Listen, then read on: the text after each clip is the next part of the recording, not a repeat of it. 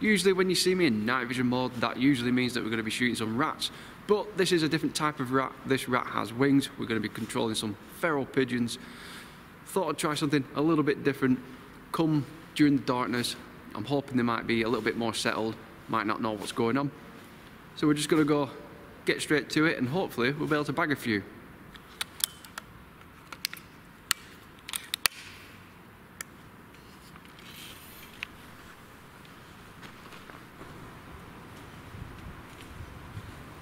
Now that I'm fully loaded up, all these pigeons are sitting up on top of the rafters, so I'm getting myself into a comfortable position, very steep angle. Gonna see if we can get a few down.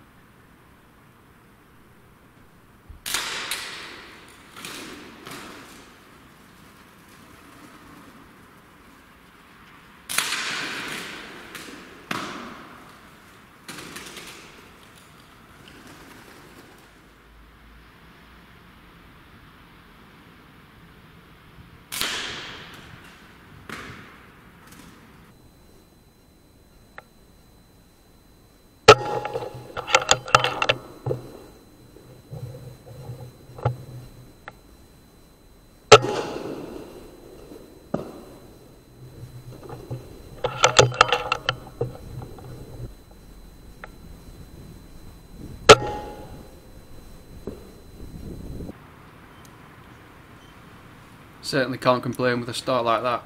Let's hope this keeps going. Three down.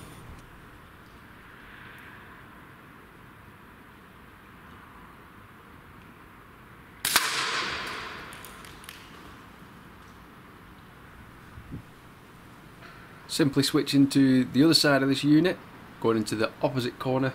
Again, get myself comfortable on this big pile of dirt. It's nice and soft. Just got to twist my body a little bit just to get comfortable to try get some more down.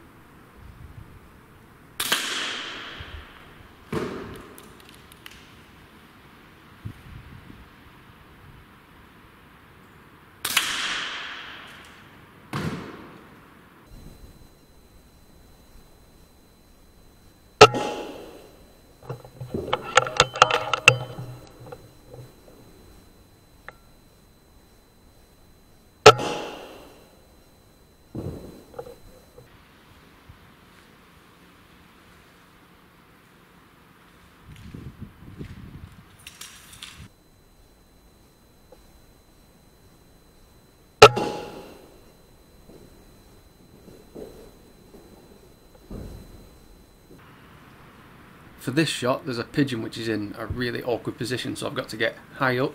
But, wait a minute, did you just see that? Watch very closely.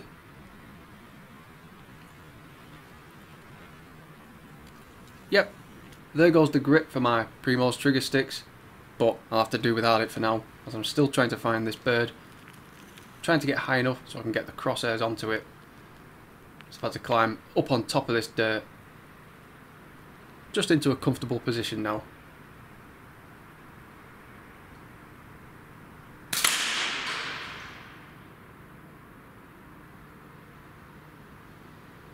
And we get another cleanly taken down.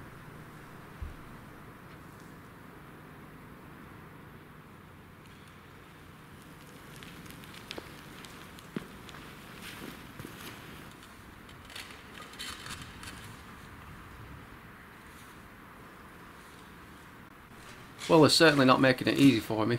Depending on the location of where these pigeons go, I've got to get myself into a twisted new position.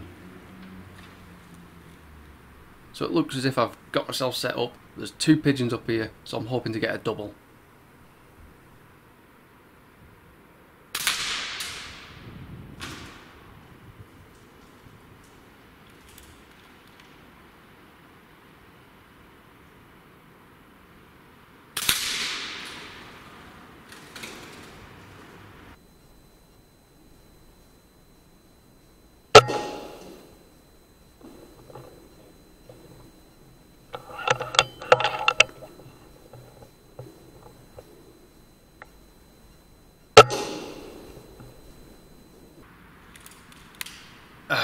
So close. Got the first one, but I pulled the second one. Disappointed with that. I'm managed to get that first one, but I missed that second one. Gutted about that. I should have had that one. That was just, that was a bad shot. That's what that was. But I'm sure there'll be some more.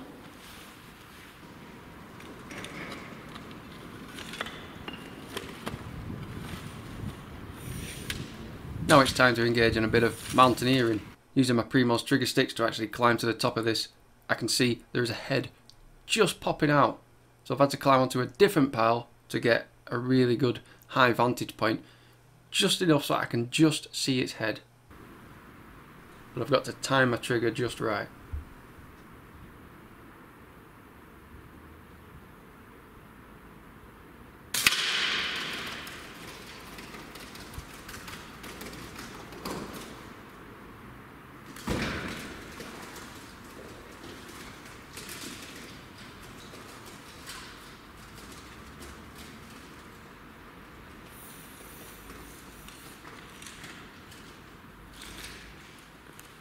I'm really happy with that shot.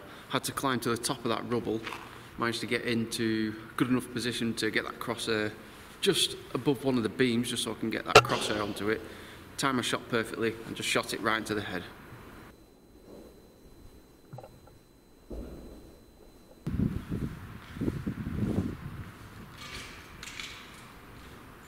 Being that this room is completely pitch black, can't see a thing, so I'm using my head torch to go and find that last pigeon that I just shot in the head. As you can see, I'm on a bit of a mission trying to find it because I'm not quite sure where it's gone. I've climbed over this wall, I'm going behind it, found it wedged between some bricks. Managed to squeeze and shimmy, managed to drag it out.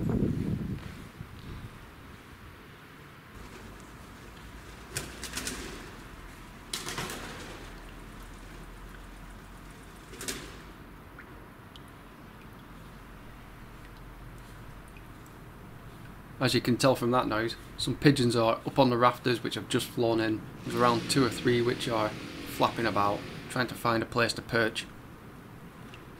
So now I've got to go find myself a suitable position to try and get onto them. And we'll see how that goes.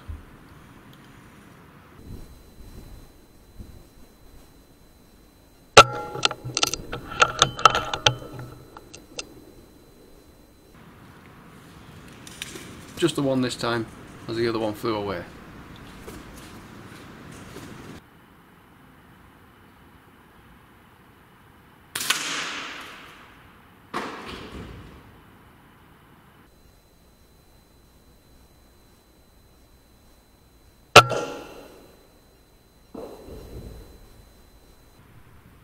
With all that's on offer, headshot required.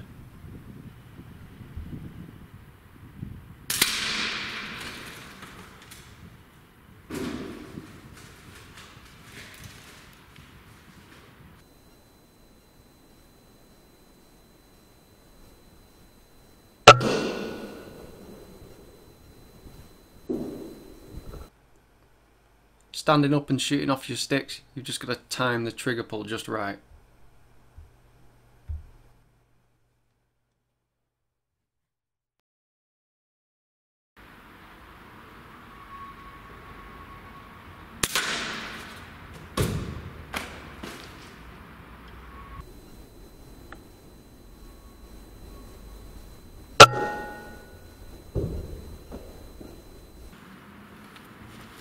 Well, that turned out to be not a bad session. We've got a few down. I've got quite a few down in the last few weeks, and coming at night this time, or at least when it's completely pitch black, they seem to be a little bit more settled, and there does seem to be quite a few more less which are now settling into this industrial unit.